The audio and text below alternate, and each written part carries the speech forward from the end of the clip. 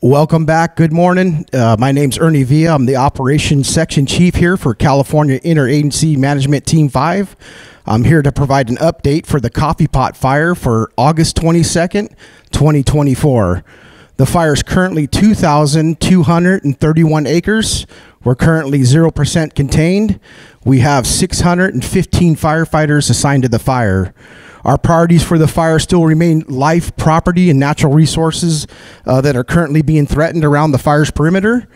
And I'll go ahead and get into the current situation of the fire here. So, yesterday, uh, minimal fire activity here along the south side of the fire up until you get out here towards the west side of the fire. Fire remained a little bit more active out here on the west side. As you come out here on, along the north side, the fire minimal activity out here towards Coffee Pot uh, Grove, and then as the fire came out to the north here in these drainages, the fire activity still remained backing uh, out in this area. And then the most activity that we did have was out here by the Coffee Pot Canyon. We did have a small run of fire that came up towards the top of the ridge line out here towards Coffee Pot Canyon, and then the remaining of the fire still remained to be backing uh, out here towards the east back in towards uh, the south side of the fire. For kind of what we're doing as far as our assignments, we're currently looking at the uh, South Fork of the Kaweah River, uh, coming out just along the Ladybug Trail as a holding feature. As we get back into South Fork Drive, we're looking at using the road as our primary line coming back out towards a ridge system. This ridge system comes back up just uh, east of Salt Creek Fire Control Road. Uh, we're looking at coming up this ridge line here. Uh, right about here at the ridge line, we do have crews continuing up this ridge line here to try to connect all the way back into H3. If we're able to get that installed, we will use that as a holding feature. This upper portion of the line here is a pretty challenging piece, so we'll have the hand crews taking a look as they proceed out to the north. Uh, if that's not a viable option, we will look at using this indirect line coming down the ridge line with dozers back into the Salt Creek Road using the Salt Creek Road as our primary line at some point if this ridge line does not hold. Coming back out the Salt Creek Road here. Um, we will connect back into uh, Cinnamon Gap area just above here, drop point 12, and then using a network of road systems and uh, ridge lines coming back up here to the towers. Once we hit that, we'll look at tying that back in on the road systems, back into the Cinnamon Gap Road, coming across that, back into some ridge lines that come back out here. Intermix of the road system and ridge lines back out here to the Mineral King Road out here to the north end of the fire.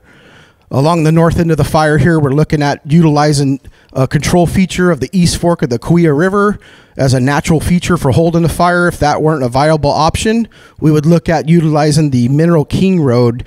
Uh, currently, crews will start uh, opening up this road with overgrown brush and removing that brush along that road system for access for the firefighters. And then out here at the very end of the road here, we have a structure group that's looking at the structures that are out at the end of that road there, assessing the need for the prep that'll happen out there. Also today with some values that could be threatened with the giant sequoia groves. Uh, we're looking at doing defensive firing operations to allow fire to back through these groves. The overall fire effect in all the groves that have been touched by uh, fire at this point, which is the Surprise Grove and the Coffee Pot unit, have been in a backing state. Limited uphill runs in these groves here. Uh, the fire effect in these groves has been pretty uh, beneficial towards the giant sequoias. Uh, not seen a lot of uh, intense fire behavior in those groves. It's all been a backing fire through these groves. We also have a crews that are dedicated to prepping these groves out ahead of the fire as it backs through there, giving uh, extra precaution for when the fire does back through there. Uh, some of these groves out here more to the east, a little more remote, so a little more challenging to get crews out there ahead of the main fire. But overall, fire effect in all the groves that have currently been impacted by fire is pretty minimal. Backing, low intensity fire on the ground. Uh, I'll come back out here, kind of didn't touch on it. I just want to reiterate uh, these hash uh, hash marks right here coming back are contingency lines. These will be installed with dozers, hand crews coming back out towards the South Fork Road.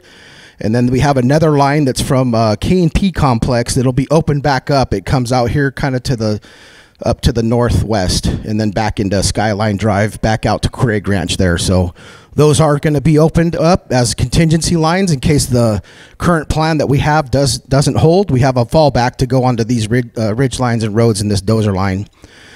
Right out here, probably about the Cinnamon Gap Road, we have a transition in fuel type. So we go from a more heavy brush fuel type in this area to a more lighter grass fuel type in this area. So these con- uh, contingency lines are definitely a viable option if this area does not hold. Uh, currently, we uh, have aircraft assigned. We still have the scoopers assigned to the incident. They are dipping out of the Kaweah Lake, so be mindful of the area where they're drawing water from. Please stay out of that area. And then we do have uh, Type 1 helicopters that will be working on this west side of the fire. And then today's mission with the scooper aircraft, if smoke allows, we'll try to get them out here on this north side of the fire. They were real effective out here on the south side, so going to try to utilize them over here if the smoke allows them with visibility. Uh, we do have uh, general information about warnings and orders can be done found at the Genasys app that I mentioned yesterday. It'll be in the information provided below. And then general information about the fire, most updated information, please visit InciWeb. Uh, This will conclude our uh, operational update for August 22nd, 2024. Please join us tomorrow. Thank you.